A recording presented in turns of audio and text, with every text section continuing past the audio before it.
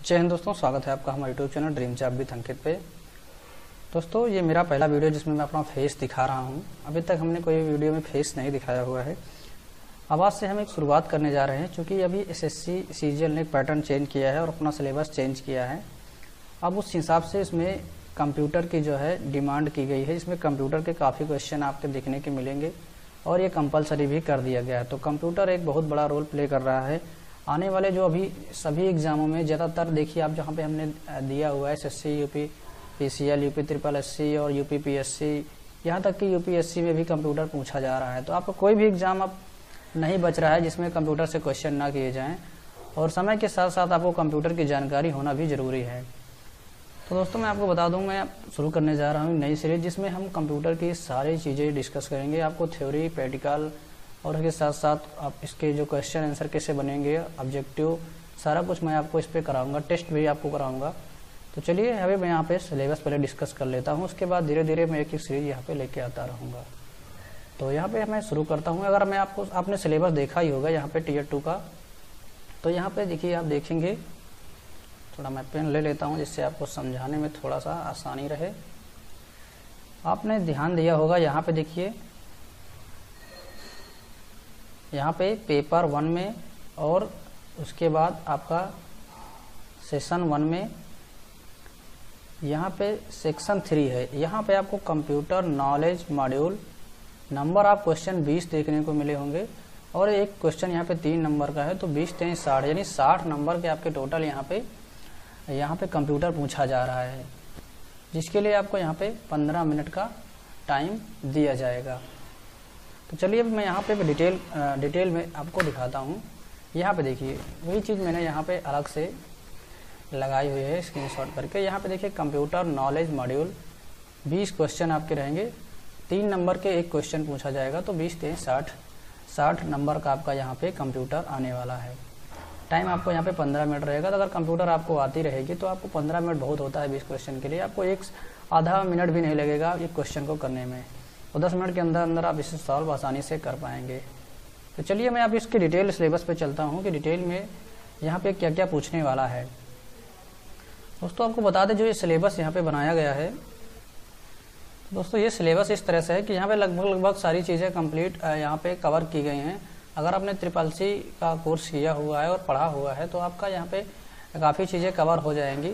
फिर भी अगर जो कवर उसमें नहीं होती हैं, मैं यहाँ पे आपको सारी कुछ बताऊँगा।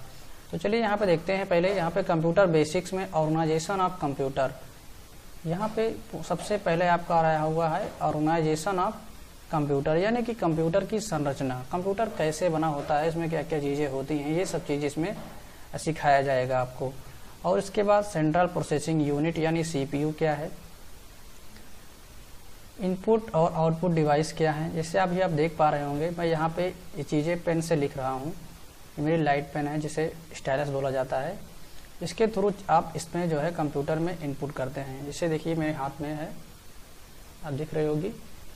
इस पेन से आप यहाँ पे लिखते हैं। तो ये एक इनपुट डिवाइस हो गई। और उसके बाद मैं जिस पे लिख रहा हूँ, ये भी एक इनपुट डिवाइस है, चूँकि ये इनपुट का काम कर रही है। कंप्यूटर मेमोरी मेमोरी से तो आप समझते ही होंगे। आपने फ़ोन में मेमोरी यूज़ की होगी। तो वही यहाँ पे होता है। कंप्यूटर मेमोरी यूज़ होती है। Hard disk S S D M two slot तो कई तरह के यहाँ पे अब आने लगे हैं। हार्ड डिस्क में आपको सब दिखाऊँगा। जब क्लास में इसकी लेंगे सेपरेट अलग अलग क्लास लेंगे तो उसमें आपको सारा कुछ यहाँ पे मैं आपको हार्ड हार्ड में हार्ड कापी उसकी दिखाऊँगा। सॉफ्ट कापी तो आप लोगों ने बहुत देखा होगा। मैं सारी चीज़ें आपको यहाँ पे हार्ड में दिखाऊँगा।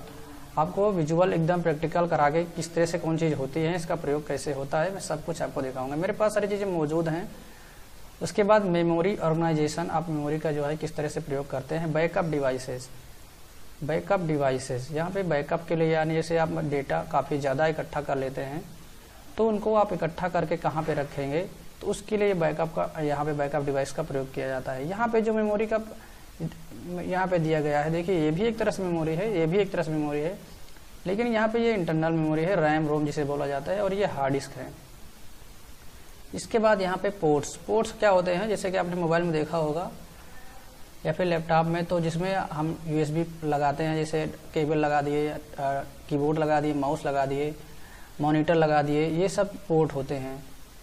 उसके बाद विंडोज़ एक्सप्लोरर, ये एक तरह से यहाँ पे इंटरनेट एक्सप्लोर के नाम से जब इसके पहले जाना जाता तब इसका प्रयोग बहुत कम ही होता है। उसके बाद विंडोज़ चलाने का संबंधित इसमें जानकारी रहेगी उसके बाद कीबोर्ड और कीबोर्ड इसके शॉर्टकट, यानी किस की के लिए कौन सा शॉर्टकट यहाँ पे प्रयोग किया जाता है, वो इसमें सिखाया जाता है। जैसा कि अभी यहाँ पे देखिए जो स्लाइड खुली हुई है, अगर इसको मुझे रन कराना होगा तो मैं अपने कीबोर्ड से F5 प्रेस करूँगा। F5 तो ये शॉर्टकट की होती है पावर पॉइंट में स्लाइड को रन कराने के लिए। तो ये स्लाइड ऑटोमेटिक रन कर जाएगी। देखिए, अब स्लाइड ये ऑटोमेटिक रन कर गई है। तो अब हम यहाँ पे, अब ये पूरे में स्लाइड चल रही है।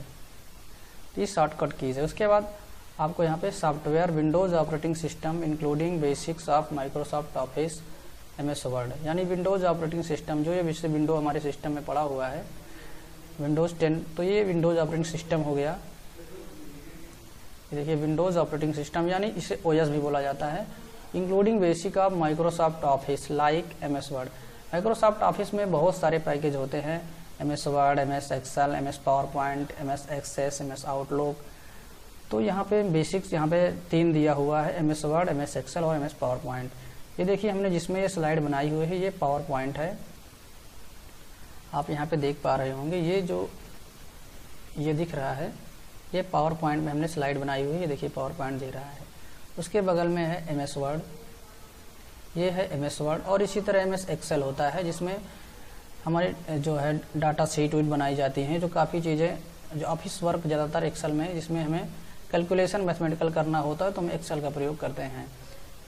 और उसके बाद working with internet and email यानी इंटरनेट और ईमेल के साथ आप यहाँ पे क्या क्या कार्य कर सकते हैं, वो यहाँ पे आपको सीखने को मिलेगा। इसमें वेब ब्राउजिंग है। वेब ब्राउजिंग क्या होता है? इंटरनेट पे कोई चीज़ आपको टाइप करना है सर्च करना और सर्चिंग डाउनलोडिंग इंटरनेट से कोई चीज़ आपको डाउनलोड करना इंटरनेट पे अपलोड करना।